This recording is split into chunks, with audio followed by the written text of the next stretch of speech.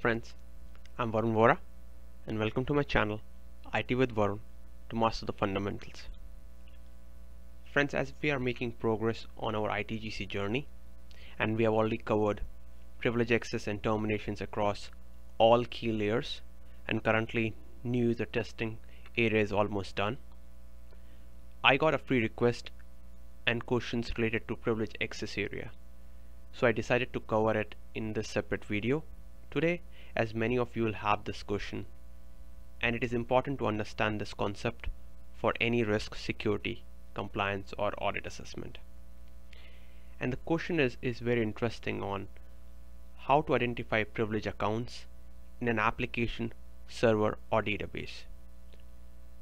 I've covered this in detail in my privilege access videos related to the application and within servers we talked about the Windows Windows and Linux and Unix server and within database we covered Oracle and SQL now these are the common ones.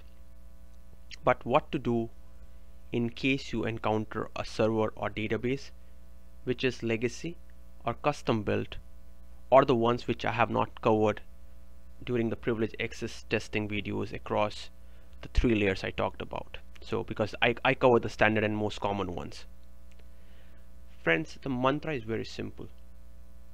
Whenever you are in a situation like this where you're not talking about a standard system, be it an application, server or database, you just need to go back to the basics and understand the word privileged from a risk standpoint, which simply means to have rights or access to perform certain things which a regular user will not be able to do and that's very critical. So we are trying to identify accounts which have privileges or which can perform actions which a regular user will not be able to do. And I've listed some examples here which I've also discussed in my other privilege access testing videos. So these are certain high risk actions like create update delete accounts deploy changes in production run automated batch jobs and update business data. These are some of the actions which are considered high risk. Doesn't matter what the system is, doesn't matter which layer are we talking about. There will be accounts which will have certain roles and privileges to perform these actions. So all accounts having the privileges to perform such broad actions and I've just listed few examples but they are very broad in nature they, they cover a lot of activities. In this case we can bring all of those accounts in scope for privilege access testing. Again it does not matter.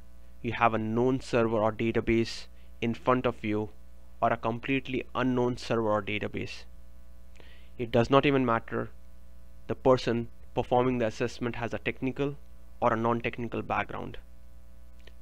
What you need to remember is to be a risk, security, compliance or audit professional, you just need to follow the risk and select the roles and privileges which are high risk as I talked about in these cases where the accounts which have the ability to create, update and delete other accounts, the accounts which can deploy changes in production, the accounts which can schedule automated batch jobs, the accounts with ability to update or delete or change business data they're all accounts which can be considered privileged.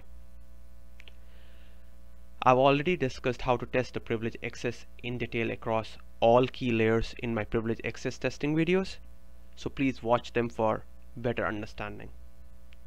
Again friends to sum it up if we need to identify accounts be it any at any layer be it a unknown server or a database which is legacy or custom built just need to follow the basics.